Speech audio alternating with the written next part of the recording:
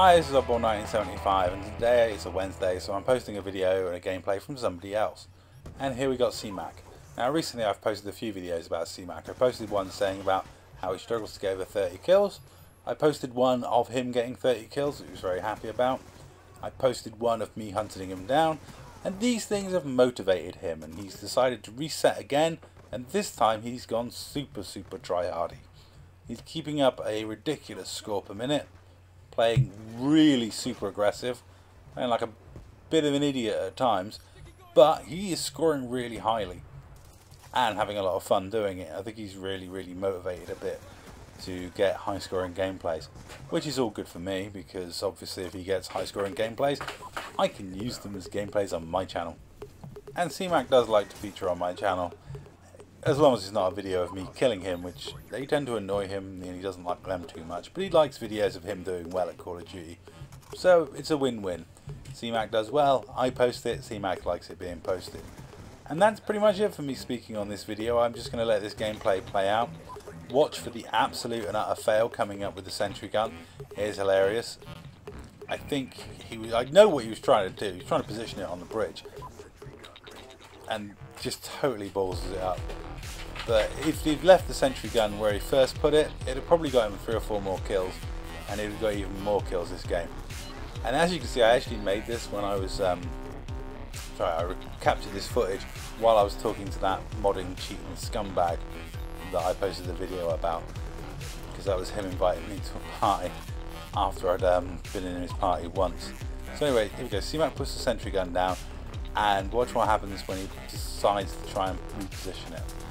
And I'm going to leave it there for me speaking and just let you enjoy this fail moment and let you enjoy the rest of this TDM. That's all from me and thank you very much for watching. Enjoy this game.